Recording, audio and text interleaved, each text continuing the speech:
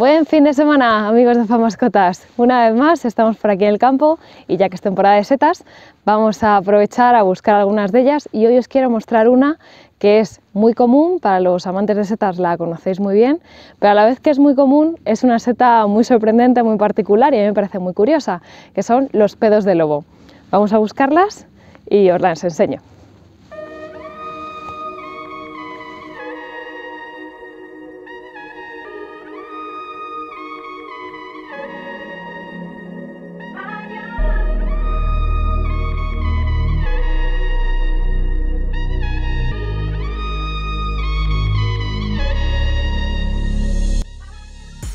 Aquí están, por fin lo hemos encontrado. Es una seta bastante común, así que no me ha requerido mucho esfuerzo encontrarla, pero ya os digo que es muy curiosa. Vamos a verla de cerca.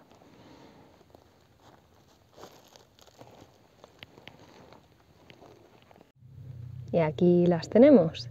Mirad qué seta tan peculiar.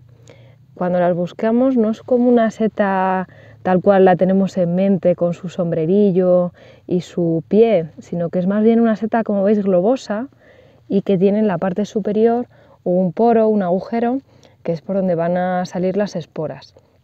Esta seta cuando nace o cuando es una seta joven es de color blanco y tiene como unas protuberancias, como una especie de pinchitos, y según va avanzando la madurez de la seta pasa a ser de color marrón y es algo más lisa entonces se le abre el agujero, como veis en la parte superior, y si voy a coger un palito y si la pinchamos un poco, veis que sale un humillo también de color, de color mostaza o de color marroncito, que estas serían las esporas de la seta.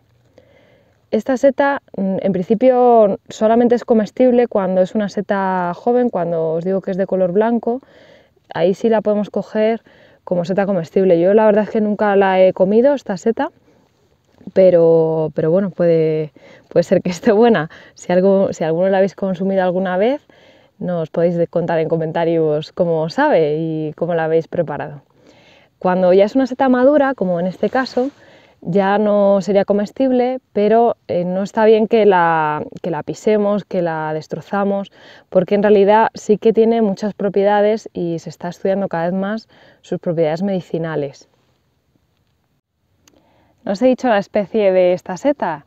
Esta especie es Lycoperdum perlatum y es una seta que, como os decía, se utiliza ahora en medicina o se está investigando en medicina porque tiene propiedades tanto cicatrizantes como se ha comprobado que antibióticas. De hecho, parece ser que, que, bueno, que antiguos pastores, gente que vivía en el campo, la utilizaba para curar, para curar heridas y de hecho parece que regenera la piel y no deja cicatriz, con lo cual pues esas propiedades son ampliamente conocidas y cada día se están estudiando más esta y otras setas en medicina, que aunque no sean comestibles o puedan ser venenosas, alucinógenas, pero su, bueno, pues sus venenos o sus toxinas en dosis controladas podrían tener acciones pues, para a lo mejor curar el cáncer, eh, determinadas eh, propiedades medicinales.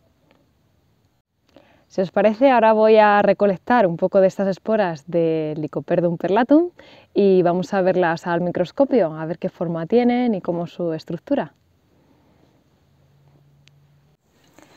Pues aquí estamos en el laboratorio de Famascotas. Mirad, le he puesto sobre un porta un poco del polvo que he cogido del pedo de lobo, que lleva las esporas. Entonces vemos un montón de puntitos que son cada una de las esporas que han salido directamente de, de, la seta. Entonces vamos a ampliarlo un poco más porque ahora mismo está con el objetivo de 4 y tengo un ocular de 20, o sea que tiene 80 aumentos. Vamos a ampliarlo al objetivo de 10 y lo veríamos ahora a 200 aumentos. Vemos ahora un poco más de cerca, pero fijaos como aún no vemos bien la estructura. De hecho vemos como algunos pelitos, no sé si lo veis, que eso imagino que ha salido también directamente de la seta. A ver, vamos a ampliar el objetivo de 40. Así que 40 por 20, ahora tenemos 800 aumentos y fijaos cómo las vemos. Si veis, las esporas del pedo de lobo no son completamente redondas, sino que parece que tienen ciertos, bueno, pues un contorno más eh, punteado, ¿no? no completamente liso. Mirad qué guay, aquí las vemos con un poco más de contraste y veis cómo, tienen núcleo estas esporas y el contorno es irregular, como os decía antes, no está tan redondeado.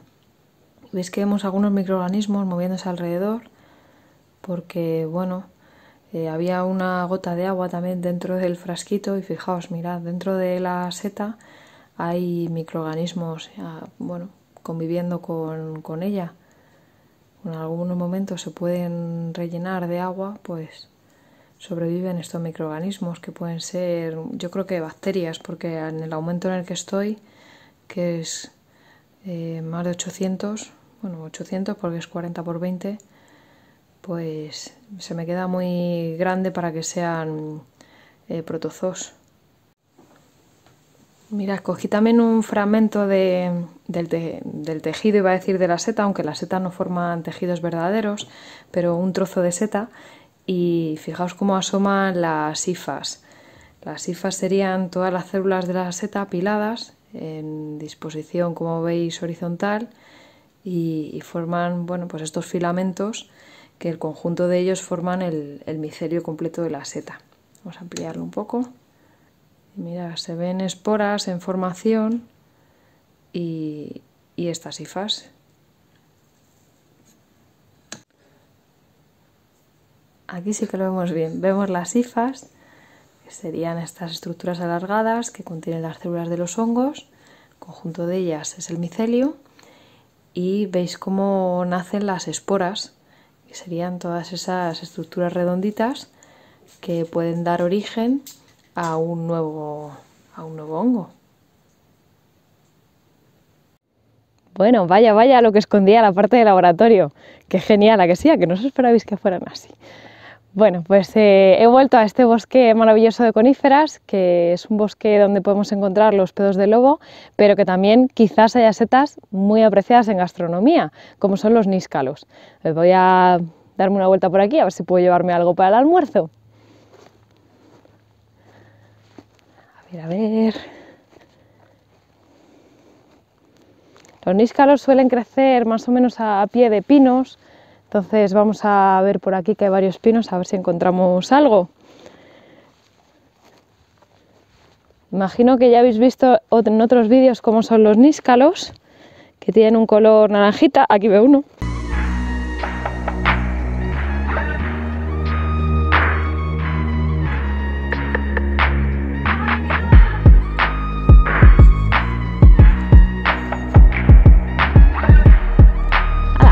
Hoy hemos tenido suerte, a ver si encuentro alguno más y puedo hacer algún guisito de patatitas con carne.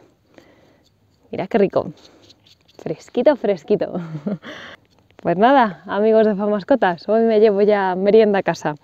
Espero que hayáis disfrutado este vídeo, que aprovechéis esta temporada de setas para salir al campo a observarlas y a cogerlas siempre con, con precaución, con navaja, ya sabéis, y protegiendo luego el micelio. Nos vemos en el siguiente vídeo. Un abrazo, hasta pronto.